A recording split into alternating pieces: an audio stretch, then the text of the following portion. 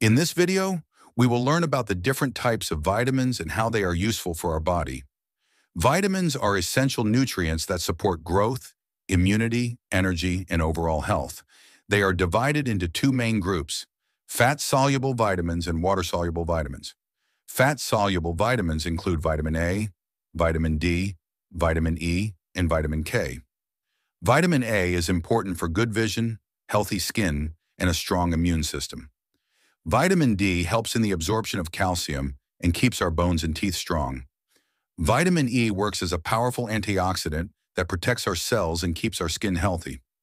Vitamin K plays a vital role in blood clotting and also helps maintain healthy bones. Water-soluble vitamins include vitamin C and the B-complex group. Vitamin C is well known for boosting immunity, healing wounds, and protecting the body against infections. The B-complex vitamins, which include B1, B2, B3, B6, B9, and B12, are essential for energy production, proper nerve function, red blood cell formation, and overall metabolism.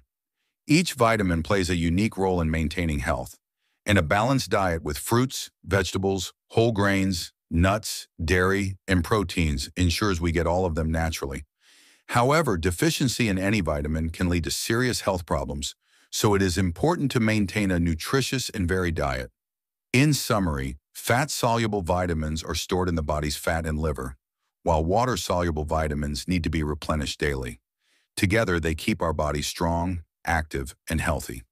If you found this video useful, don't forget to like it and subscribe to our channel for more educational videos on health and wellness.